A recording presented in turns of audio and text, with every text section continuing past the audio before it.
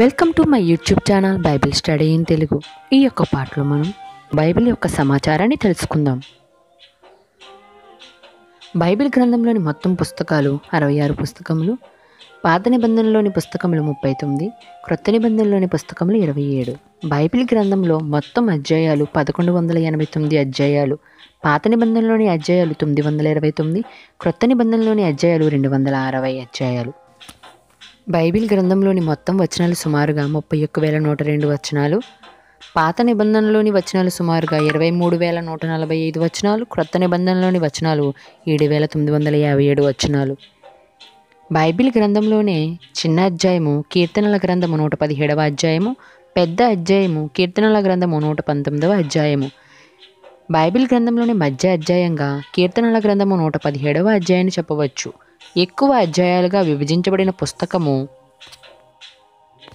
కీర్తనల గ్రంథం నూట యాభై అధ్యాయాలుగా విభజించబడింది తక్కువ అధ్యాయాలుగా విభజించబడిన పుస్తకములు ఒబజ్జ ఫిలేమోనుకు యోహాను రాసిన రెండవ పత్రిక యోహాను రాసిన మూడవ పత్రిక యూదా రాసిన పత్రిక కేవలం ఒక అధ్యాయంగా మాత్రమే విభజించబడ్డాయి బైబిల్ గ్రంథంలోని చిన్న వచనంగా యేసు కన్నీళ్లు విడిచెను యోహాను స్వార్థ పదకొండవ అధ్యాయం ముప్పై ఐదవ వచనం చెప్పవచ్చు పెద్దవచనము ఇస్తేరు గ్రంథము ఎనిమిదవ అధ్యాయము తొమ్మిదవ వచనం చెప్పవచ్చు బైబిల్ గ్రంథంలోని మొదటి పదం మాదియందు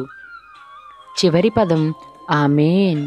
చూశారు కదండి మరిన్ని వీడియో అప్డేట్స్ కొరకు సబ్స్క్రైబ్ చేయండి మా YouTube channel Bible study in Telugu and bell button click చేసి మరిన్ని అప్డేట్స్ పొందండి దేవుడు మిమ్మను మీ కుటుంబాన్ని దీవించునుగాక